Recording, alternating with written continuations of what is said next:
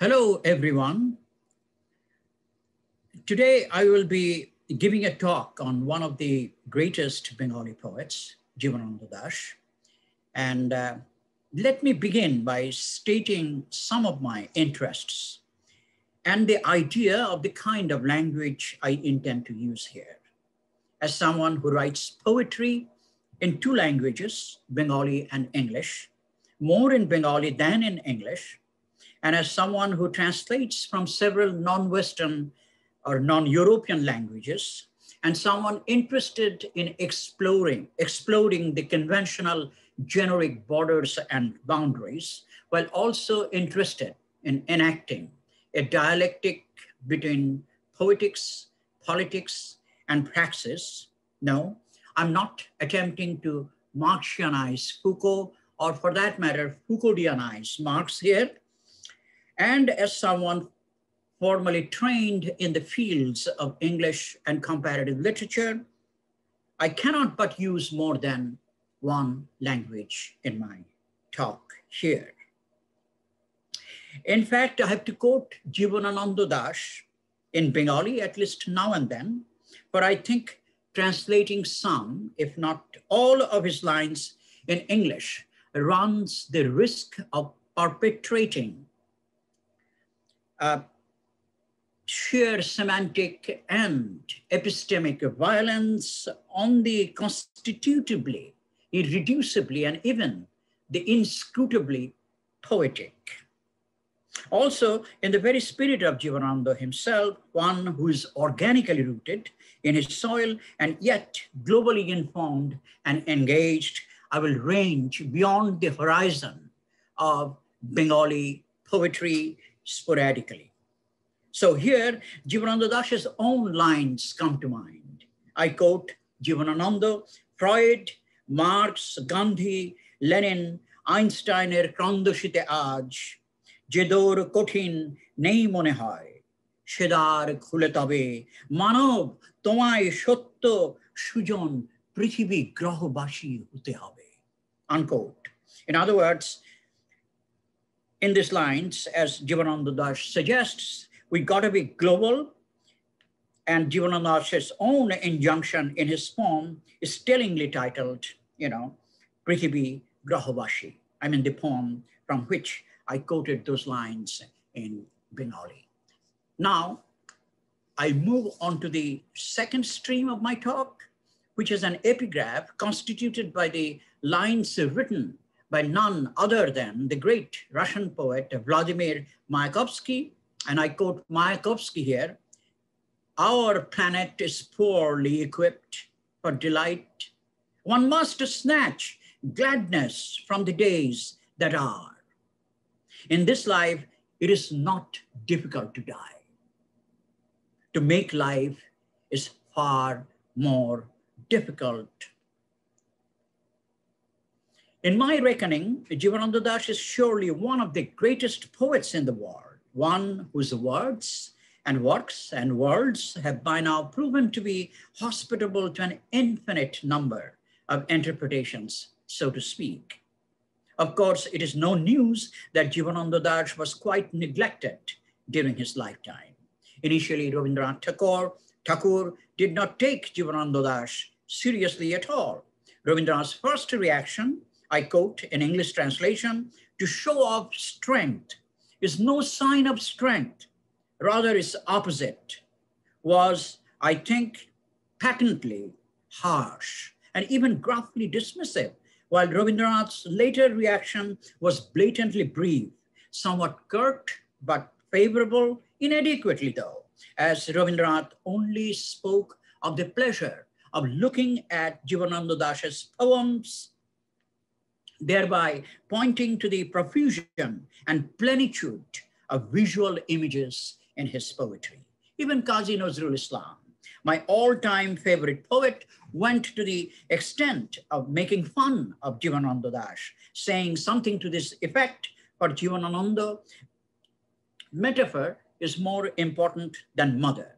Jivananda Das, Arkobitaye, উপমা ব্যবহার করতেন এবং আমরা জানি যে উপমা ব্যবহারের জন্য জীবনানন্দ দাস প্রসিদ্ধ। তার নাম এই উপমা প্রসঙ্গে বারবারই আমরা ব্যবহার করি। কিন্তু এই যে উপমা, এটাকে ধরে নজরুল তাকে মজা করে বলেছিল যে জীবনানন্দ দাসের জন্য মায়ের চেয়ে উপমাই প্রধান এই কথাটা। Anyways, among his most notable contemporaries, known as the great modernists of the 1930s, such as Buddhadev Boshu, Shudhindranath Datta, Amiya Chakraborty, and Vishnu De, it was only Buddhadev Boshu who cared to read Jivananda Das and evaluate his work to the extent that he could. But I would still argue that his deep sympathy for Jivananda Das notwithstanding, even Buddhadev, by calling Jivananda Das the Nirjanatama Kavi or the loneliest poet, ultimately failed to do justice to Jivananda Das's otherwise staggeringly, mind-bogglingly wide-ranging poetic oeuvre.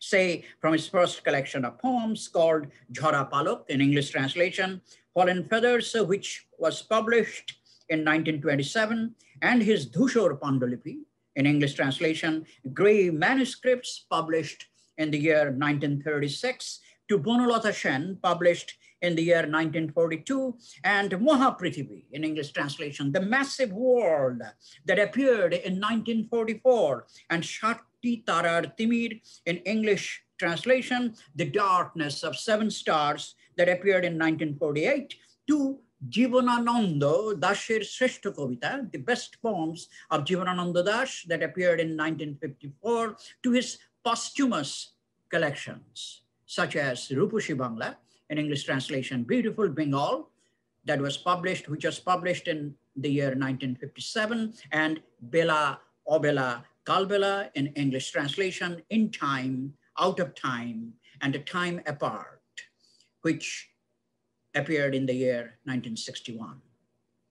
Following Jivananda Das's death, however, there, there has been an incredibly prodigious, phenomenal explosion of critical works on him. Hundreds of essays and scores of books have already been written about his work, particularly, if not exclusively, his poetry. While of course, Jivananda Das has proven to be an unshakable undeniable, visible or invisible, direct or indirect influence on subsequent generations of poets. Today, critics and readers invoking Western figures or Western critical paradigms or approaches find in Jivananda Das's poetry all kinds of things, such as Donnesque conceits or Discordia concords, Keatsian sensuousness, Baudelairean, Mallarmian, Rimbaudian, Verlainian symbolism, Poesque enigma, and dream-like topos, Yeatsian occultism, and flair for the mythopoetic, even Frostian, deceptive and dramatic simplicity, William Carlos Williamsian imagism, and so on. One can go on and on here. The kind of synesthesia, or what I wish to call intersensory experience, that Baudelaire, for example, memorably and famously speaks of in his deeply aestheticized and beautifully crafted sonnet called, in English translation, Correspondences, was, was already exemplified in the work of Jivananda Das, as the critic Alok Ranjan Dasgupta once pointed out. And of course, a whole host of critics have found in Jivanananda the elements of many painting or arts related movements or schools like Impressionism, Abstract Expressionism, Dadaism, Surrealism, Acmeism, Constructivism, Futurism. And then, by the grace of contemporary literary theory emanating from the metropolis, critics have also found in Jivanananda even Lacanian Kristevan jouissance, Derridian playfulness, uh, and of course, the elements of what might be called anti-modernist modernism or even postmodernism. The list I have hitherto provided here, rather deliberately but quickly, is by no means exhaustive though. But, but it is intended to convey a sense of the bewildering textuality and intertextuality of Jivananda's work that all kinds of critics have by now pointed out one way or another.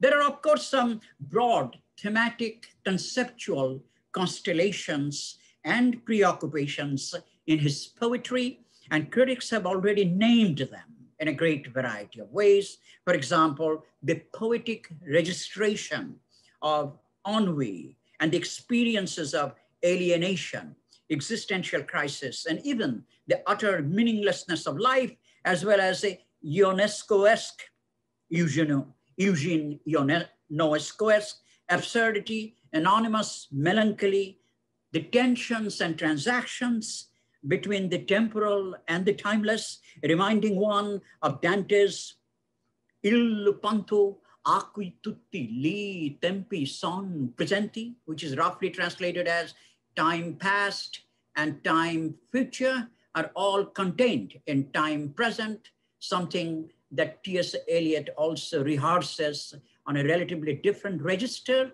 in his famous work, famous poetic work called Four Quartets. And then you have even over-determined ecological consciousness, prehistory and history, and geological time, geographical and cartographical imagination, even the subject of ideational mystification and obfuscation, as can be particularly, if not exclusively, exemplified in his great but relatively unknown poem called Timir Shurje. Then the question of even Mallarmian nothingness, war and peace, nocturnal romance, social conflicts, deep nostalgia, the corruption and hypocrisies of middle class politicians and businessmen, moral decadence in contemporary society, deadly pessimism, yet tremendous optimism, mark such lines as জীবন তবু নিরালক হয়ে রবে কতদিন কতদিন না হতে পারে from his interestingly titled poem called অনেক মৃত বিপ্লবী স্মরণে let me repeat the title here, Onek Brito Biplavi Sharone. And even the question of revolution itself as a theme, it is not only interesting, but also suggestive that Jivanananda Das has used directly in his poetry. The word biplav or revolution more than a hundred times, say from at least Mahaprithvi or the massive world, or Shaktitara Timir or the darkness of seven stars, to Bela Obela, Kalbela, you know, out of uh, in time, out of time, and time and a time apart, not to mention numerous poems discovered after his death. In any event, one can easily see that poetics, politics, and philosophy profoundly intersect in the poetic spaces forged with boundless energia and elan and éclat by Jivanananda, whom I cannot but compare to the greatest Latin American poet, Pablo Neruda, the different locations, traditions, and stylistic signatures notwithstanding. Now, I'll make some more general observations quickly about Jivanananda Das before I take up my own particular concern, which has to do with a relatively unheeded area of Jivanananda Das's work. True, Jivanananda Das has most effectively and influentially, influentially shaped the idiom of modern Bengali poetry, while his persistent concerns with the entire range of places and peoples and seasons of his own land fiercely bespeak his anti-colonial rootedness. Of course, it is possible to speak of the post-colonial Jivananandos as some have already done, although I'm not always with them and then underlining his brand of poetics that challenges Eurocentrism at every turn. Indeed, Jivanananda's relentless explorations of the historical and the unconscious, accompanied by his explorations of the various rhythms of time and of different spatial contours and configurations and constellations, have given his poetry the kinds of textures and vectors and balances, as well as stylistic range and flexibility that were totally unknown before him. And despite their many differences, many differences, Jivanananda, like Pablo Neruda, offers the kind of poetry that responds to, I quote Neruda here, quote, the mandates of touch, smell, taste, sight, hearing, the passion for justice, sexual desire, a consummate poetry soiled by the pigeon's claw, ice marked and tooth marked, bitten delicately with our sweat drops and usage, unquote, while always marking, I quote Neruda again, the sumptuous appeal of the tactile, unquote. But, but could a poet like Jivanananda Das be concerned with utterly unpoetic, even dully prosaic subjects like budgeting and banking, inflation and interest, even compound interest, income tax, royalty, commission, agency business, indenting business, the flow or circulation of and thirst for dirty money, the power and magic of money, the bloody exploitation of labor, even what Marx calls a fictive capital in the third volume of Capital, and the like in the very spaces of his own poems. Mark then Jivanananda Das's own lines, the ones that I feel compelled to quote in the original Bengali here. Committee মিটিংয়ে বসে কুকুরকে হাড় দিয়ে budget করেছে গাড়ি গাড়ি মাংসময় বাথরুমে তবুও অন্ধ, স্নাতক, ধৃতরাষ্ট্র ছাড়া আর কিছু নয়। জীবনানন্দ দাসের বাজেট ভাবনা। কমিটি মিটিংয়ে বসে কুকুরকে হাড় দিয়ে বাজেট করেছে গাড়ি গাড়ি মাংসময় বাথরুমে তবুও স্নাতক, অন্ধ, ধৃতরাষ্ট্র ছাড়া আর কিছু নয়। And my quick functional translation. Uh, sitting in on their meetings, they allocate those uh, damn bones to the dog, budgeting their wagons of meat. Also, these lines by Jivanananda, Uchu Uchu Factory, Bank Niye Unmukh Pragati Jege Ache, Tomader Ghum And in my translation, sky piercing factory after factory, anxious progress along with the bank remains wide awake. Do you feel sleepy? And there are more lines, of course. I quote Jivanananda, বহুকে বঞ্চিত করে দু একজন কি একজন কিনে নিতে পারে পৃথিবীতে সুদ খাটে সকলের জন্য নয় অনিবর্চনীয় হুন্ডি একজন দুজনের হাতে পৃথিবীর এই সব উঁচু লোকেদের দাবি এসে সবই নেয় নারীকেও নিয়ে যায় In my English translation, again, quick functional translation, at the expense of the many, only an individual or two can buy. Interest remains invested in the world, but not for everyone. The unspeakable bill of exchange stays in a hand or two, and the demand of this world's upper class folks grabs every goddamn thing, women included. And more lines, and I can't resist quoting more lines here from Jivanananda. কোথায় সমাজ অর্থনীতি স্বর্গগামী সিঁড়ি ভেঙে গিয়ে পায়ের নিচে রক্ত নদীর মতো মানব ক্রম পরিণতির পথে লিঙ্গ শরীরী হয়ে কি আজ চারিদিকে গণনাহীন ধূসর দেয়াল ছড়িয়ে আছে যে যার দৈব সাগর দখল করে course, there are more lines by Jivananda. Mark his atypical diction here in these lines.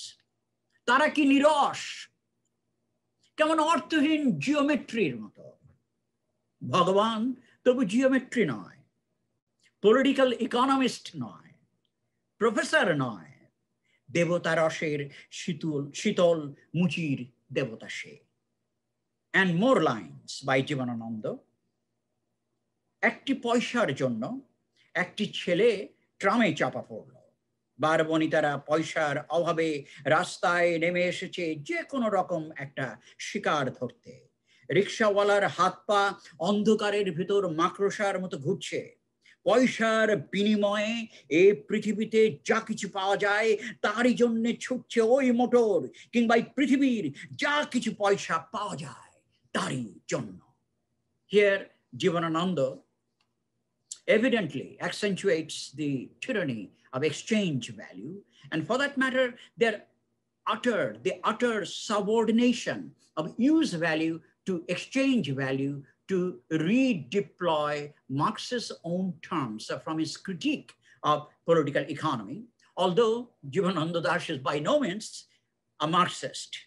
But the poet much more poetically underlines what Marx calls the power of money in a bourgeois society, which is actually the title of an entire chapter included in Marx's early major work called Economic and Philosophical Manuscripts of 1844. In any event, Jivanananda does not stop there. He writes an entire poem that mobilizes the discourse of money like this. And the poem is called Bonafide. এই এক পৃথিবী যেখানে লোকে ঘুরে ফিরে টাকার কথা বলে আবার সেই পেটের ব্যবস্থার কথা বলে এক একজন লোককে দামি মনে হয়। সে খুব বেশি ইনকাম ট্যাক্স দিতে পেরেছে বলে, সে খুব ডাল, মাংস, মশলা, মদ, দুধ বা মধু তার টেবিলে ছড়িয়ে রাখতে পারে বলে এই সব শক্তিকে আমরা স্বীকার করি। মেয়ে মানুষেরাও এই সব পুরুষের জীবনের ব্যবস্থাকে ভালোবাসে এবং তাদের দিয়ে সন্তান সৃষ্টি করে। তা না হলে পৃথিবী এতদিন, এই পৃথিবী ভ্যাগাবন্ডে ভরে যেত। মানুষের পোশাক, পরিচ্ছদ হ্যাট কোট মোটর দ্রুত ডিনার ও প্রাসাদের উপকরণ, এইগুলোই শুধু মেয়ে মানুষের হৃদয়ে প্রেমেরও সঞ্চার করে। তার শরীরকে সৃষ্টির পাত্র করে তোলে, তার সন্তানেরা ঘুরে ফিরে সেই টাকার কথাই বলে। তাই চাকরির কথা, মাইনের কথা ইনক্রিমেন্ট রয়্যালটি কমিশন ও ইন্টারেস্টের কথা, চাল, ডাল, দুধ, বাড়ি ভাড়ার কথা, একটা টাকাও বেশি পেলে খানিকটা খাঁটি আনন্দের কথা, একটা টাকাও কম পেয়ে খানিকটা খাঁটি বিষণ্নতার কথা এই সব আন্তরিকতা নিয়ে এই পৃথিবী। The poem I have just cited is for me immediately reminiscent of the late 19th century. And I think I would do well before I make my points about the poems, about this particular poem called Bonafide. I think I would do well to provide at least a quick translation of some of the lines from that particular poem called Bonafide. And here are the lines. The kind, this is the kind of the world where people wax lyrical about money at every turn and they speak again and again of the stomach system. Everyone able to pay income taxes is deemed damn important. That children speak of the same money. They speak of job, salary, increment, royalty, commission, interest, and they speak of pure pleasure if they end up receiving an extra penny.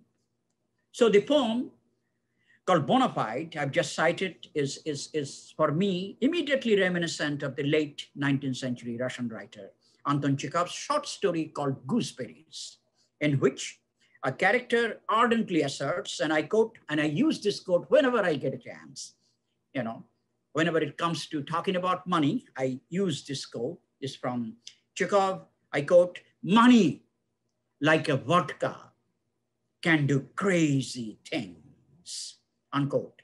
But the poem significantly, if not directly, suggests how capitalism and patriarchy as systems of power relations and production relations remain profoundly interconnected.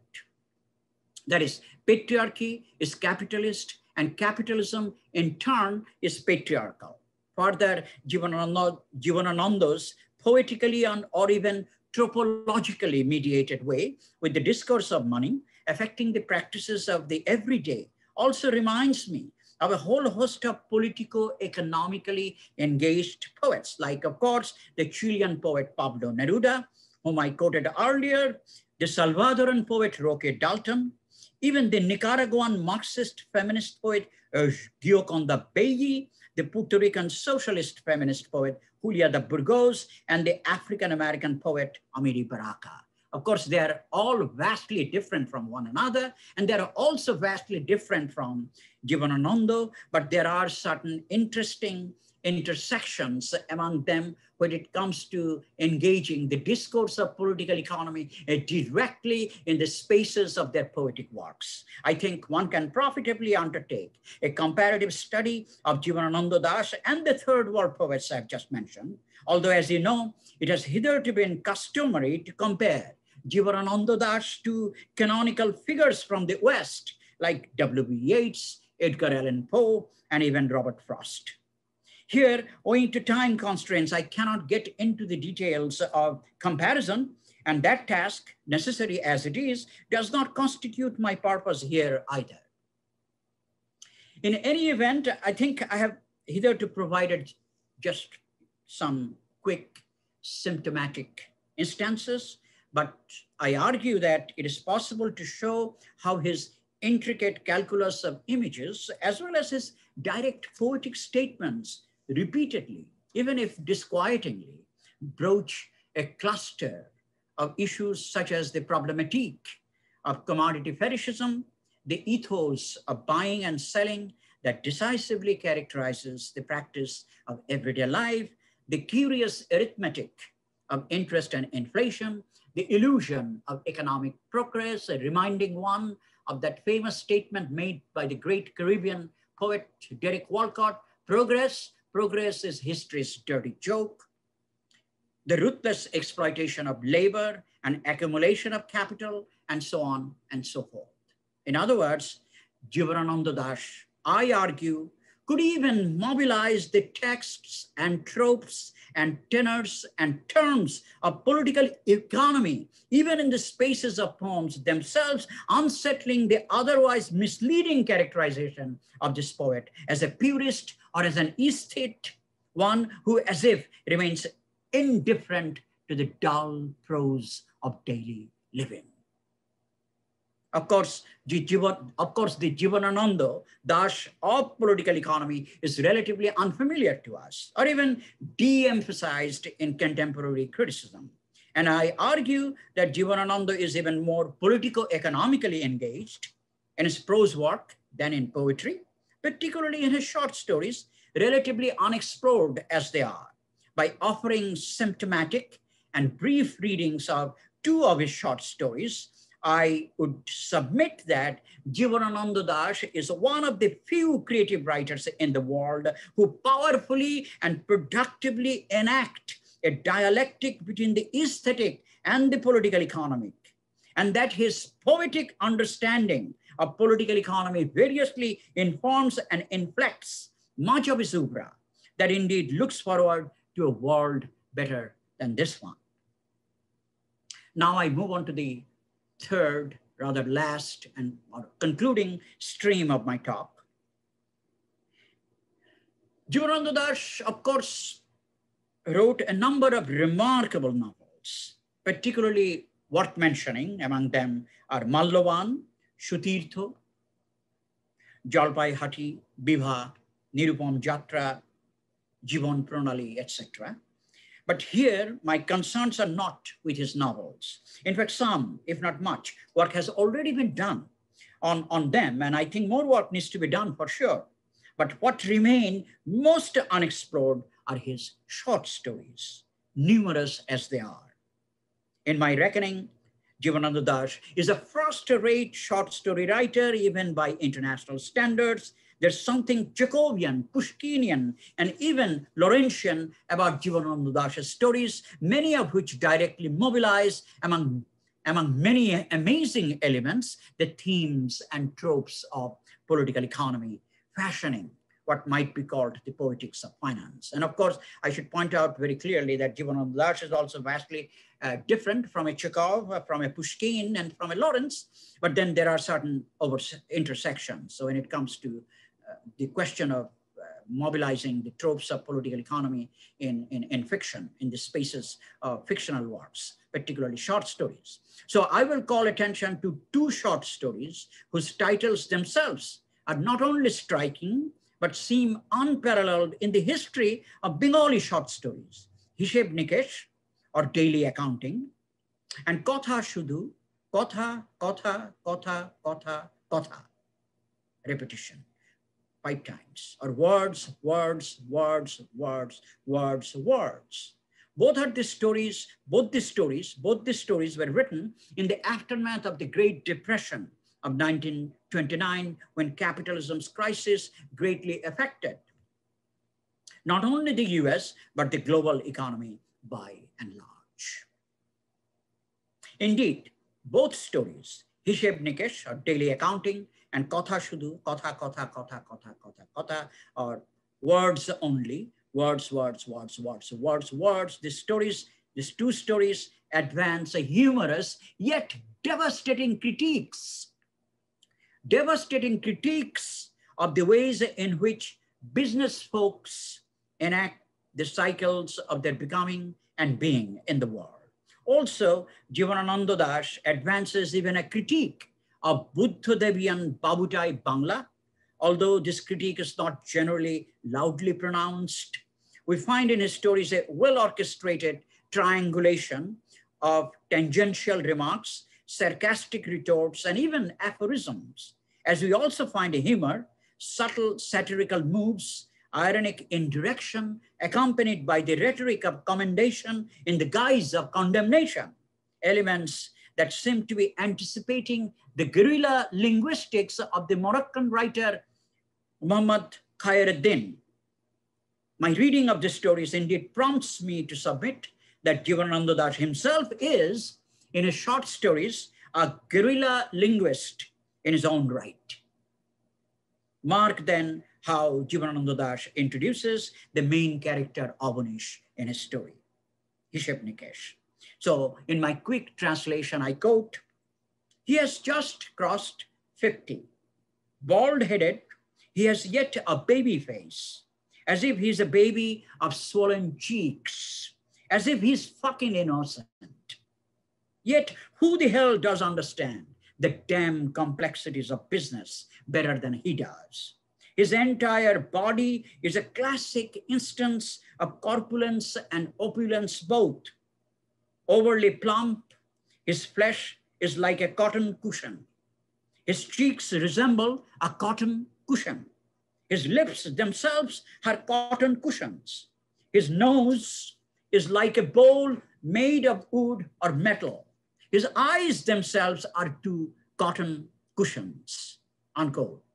As none other than Antonio Gramsci put it in one of his prison letters, and I quote Gramsci here, repetition creates the illusion of reality, unquote. And indeed, by deploying this cinematic technique of close-ups, Jivanananda Das here zooms in on the very body of Avanish, its obesity, its dangling fat, not only underlining the very ugliness that Jivanananda finds utterly disgusting, but also underlining surpluses that the politico-economically conscious Jivanananda later directly and dexterously relates to the accumulation of capital, not only capital, but amazingly enough, fictive capital, the kind of capital that cashes in on fiction rather than commodity production, the kind of capital that Marx himself theorized in his major work, Capital. As Jivanananda Das himself shows in his story, Avanish is not involved in any commodity production oriented business as such. Rather, abandoning the business of leather and pharmacy, he has finally immersed himself in what's called agency business, where money, where money directly brings and begets money. In Capital, Volume 1, in its chapter 4, Marx presents the general formula of capital via a circuit of M dash C dash M prime, where M stands for money, C stands for the buying and selling of commodities, and M dashed stands for more money or profit. But Marx presents another circuit of capital, which is M dash M prime, meaning that money directly brings more money, bypassing the phase of commodity production, but decisively contributing to the accumulation of capital. Now, the Avanish of Jivanananda Das's story is involved in the M dash M prime circuit, where the play of fictive capital is of paramount importance. Avanish's own story gathers momentum, revolving around M dash M prime, so to speak, as Avanish widening his baggy eyes and letting out a bad belch, talks to his friend Rakhal about a Yankees coconut oil business's fiasco and his own net profit of 2 lakh rupees. Jivananda, in fact, shows how the entire mindscape of Avanish, including even its inscape and instress, to use the poet Gerard Manley Hopkins terms from another context, are all inextricably tangled up in the M dash M prime circuit such that even love and affection are all adversely affected as relationships between people morph into relationships between mere things, something that the Marxist theorist Georg Lukács called reification. Of course, Jivananda did not read Lukács, but with a creative writer's genius, Jivananda Das ably fictionalized the effects of both alienation and reification in his short story, something that even Manik Bandyopadhyay, despite his unusual creative power, could not do, as I would argue. Now, onto this story, Kotha Shudhu. Kotha, Kotha, Kotha, Kotha, Kotha. Owing to time constraints, I would have to skip quite a, quite a cluster of close textual analysis and make even some conceptual leaps. I will in fact make some quick points. The French Freudo-Marxist theorist Jean-Joseph Goux, in a seminal work called Symbolic Economy, theorizes the isomorphism or the similarities between money and language. Amazingly enough, well before Jean Joseph Goux, Jivanananda himself does the same in the space of a story such that his Kotha Shudhu, Kotha, Kotha, Kotha, Kotha, Kotha, Kotha, Kotha can be read money only, money, money, money, money, money, money, or as M dash M prime dot, dot, dot, dot, dot, N, nth degree. This story is also reminiscent of Anton Chekhov's story Gooseberries that I mentioned earlier as it is also reminiscent of the great African-American poet Langston Hughes' short typographical poem about money, which is this. The golden goose laid.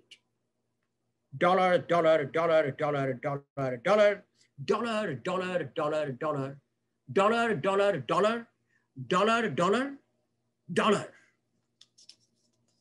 Yes, it is the movement of dollar, of money or money or more appropriately capital that consummately and even unmitigatedly preoccupies the totality of the becoming and being of the major character Bhavashankar in the story Kathashudha. But who is this Bhavashankar?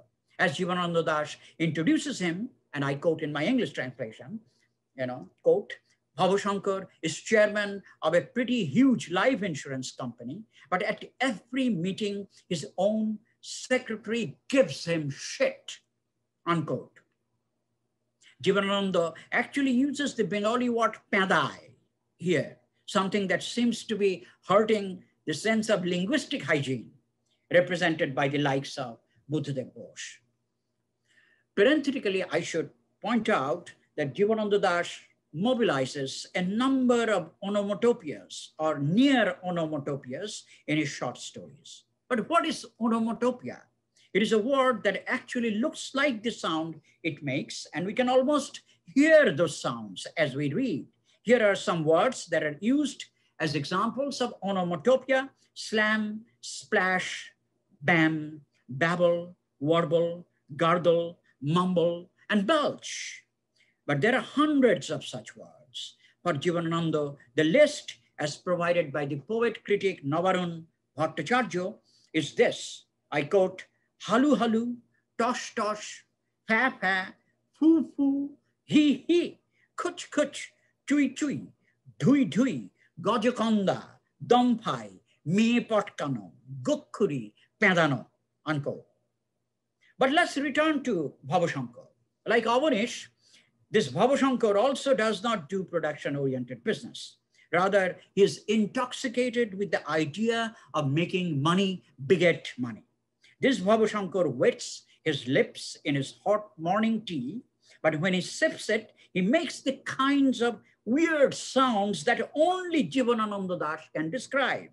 Bhabashankar loves to have his special jelly in his toast while sinking his yellow teeth deep into the heart of a boiled egg and then bites into his banana while thinking about cash, cash, cash, cash, cash only. As Jivananda puts these words in Bhabashankar's mouth, I quote in my own translation, if I stick to my business, there will be money, more money, more money, more money, and more money, unquote. Bhabashankar seems to be echoing Marx's M-M prime. And of course, for the sake of the M-M prime, Marx, Bhabashankar can go to any extent, even bordering on the schizophrenic. Indeed, it was Karl Marx who, by using Shakespeare, particularly the Shakespeare of Timon of Athens, shows by the Shakespeare of Timon of Athens shows in his economic and philosophical manuscripts of 1848 what magic and miracles money can do. Marx uses, among other theoretical formulations and metaphors and images and symbols, one particular image to point to the power of money, one which I would put it, I would put this way.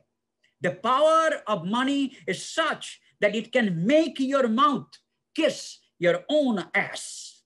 I think Jivananda Das brilliantly and even unprecedentedly captures this ass kissing moment in a short story called Kotha Shudhu, Kotha, Kotha, Kotha, Kotha, Kotha, Kotha, Kotha, which again can be read as money only. Money, money, money, money, money, money, bringing money, market, magic, miracle, mind, and Marx together, so to speak. So I have hitherto presented a different Jivanananda, I hope, one who does not tally with some conventional characterizations of him. But I think more, more work on his short fiction still needs to be done.